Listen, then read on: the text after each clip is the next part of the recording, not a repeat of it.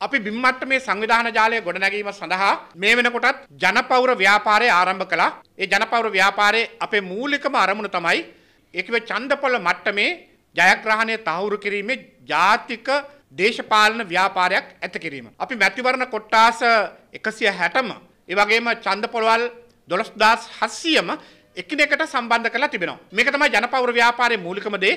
අපේ ඉලක්කය ජනාධිපති වර්ණයේදී 151ක්. අපේ ඉලක්කය සම්පූර්ණ කළ ඉදිරියට යෑම සඳහා ඒ නෙට්වර්ක් එක නැත්නම් ඒ පද්ධතිය ක්‍රියාත්මක කිරීම. ජනාධිපති වර්ණයට ඕනේ මූලික සූදානම් කිරීම අපි කරගෙන යනවා. ඉතින් අපේ විශ්වාසය මේ සියල්ලගේම අවසාන ප්‍රතිඵලය අපි ලක්ෂ 70 ඉක්මවපු ඡන්ද ප්‍රමාණයකට සමගි ජන බලවේගයට යා හැකියි කියලා 100ට 100ක විශ්වාසයක් තිබෙනවා.